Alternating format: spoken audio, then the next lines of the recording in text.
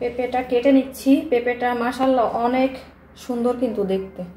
খেতে কেমন হবে এখনও খাইনি, তবে খাব ইনশাল্লাহ আল্লাহ খাওয়ালে।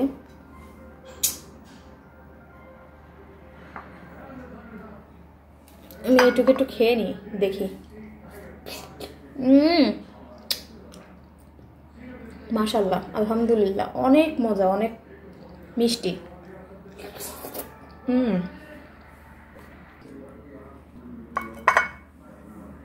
আমি বললে।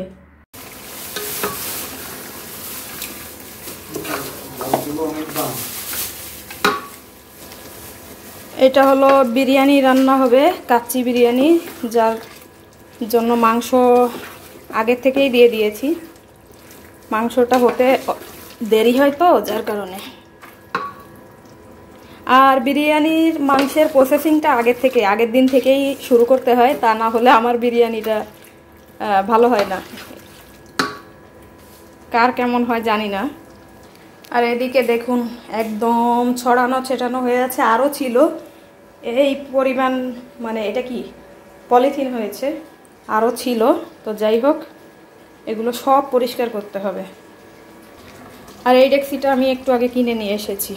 কারণ অত ধরবে না। এই যে, এই ডেক্সিটায় রান্না করি সাধারণত সব সময়। এখন এইটা ধরবে না বিধায়।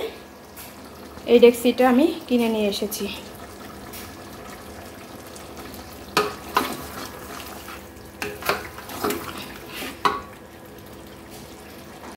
অহনার বার্থডের জন্য এই রুমটা সাজানো হচ্ছে। সব কিছু খালি করে দিয়েছি, আর এখানে হলো বাচ্চা কাচ্চারা মানে যারা আসবে, তাদের খেলাধুলা করার জন্য সুব্যবস্থা রেখেছি। সব অহনার খেলনা এখানে রেখেছি।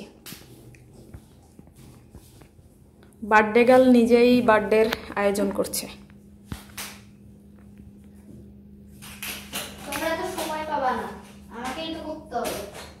হুম।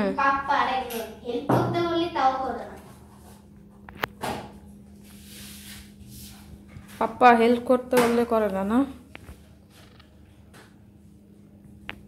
এটা হলো বাচ্চা কাচ্চাদের জন্য এই রুমটা সিলেক্ট করেছি। সব কিছু বের করে ফেলছি এইখান থেকে।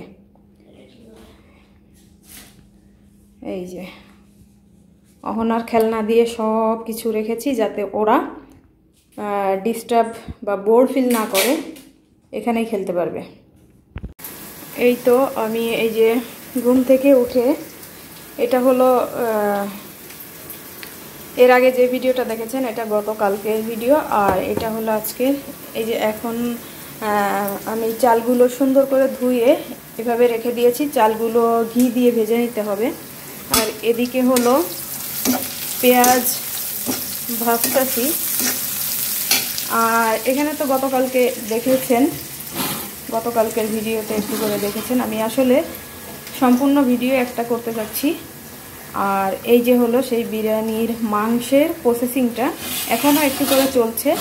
গতকাল রাতে সুন্দর করে ম্যারিনেট করে একটু করে জাল দিয়ে, ভালো করে জাল দিয়ে রেখে দিয়েছিলাম। আর এখন হলো, এখন তো রান্নাই হবে।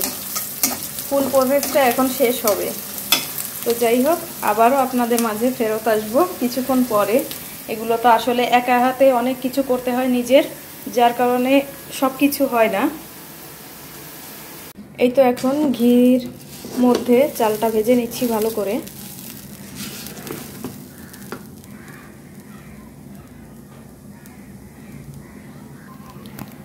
এখানে আস্ত মশলাগুলো দিয়ে দিলাম।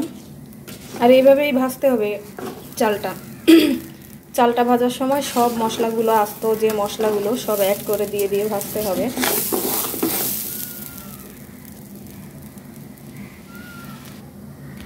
আসলে ওই যে বলেছি, একা হাতে সব সামলাতে হয় তো, যার কারণে পুরো ভিডিওটা আমি ভালোভাবে দেখাতে পারছি না।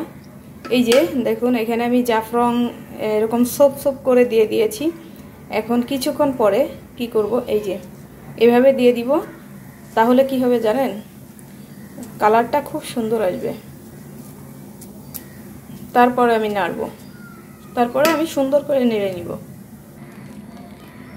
আলহামদুলিল্লাহ, চালটা ভাজা হয়ে গেল। এখন আমি চালটা মাংসর মধ্যে মিক্স করব। মিক্স করে তারপরে আপনাদেরকে আমি আবারও আমার ভিডিওটা শেয়ার করব।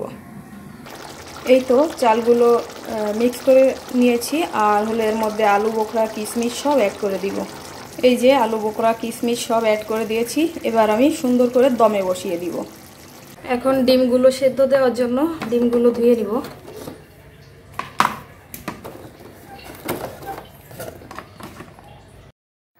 তো এতক্ষণ যেটা দেখেছেন রিয়েল এবং রিয়েল ভয়েজের, আর এখন আমি ভয়েস অ্যাড করছি। তো সম্পূর্ণ বার্থডের ভিডিও একটাই দিতে গেলে আপনারা বোর হয়ে যাবেন, আর ভিডিওটা বড় হয়ে যাবে। তো আপনাদের দেখারও সময় হবে না।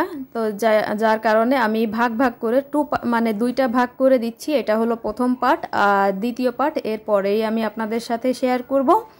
তো সবাই সুস্থ থাকবেন, ভালো থাকবেন। আল্লাহ হাফেজ।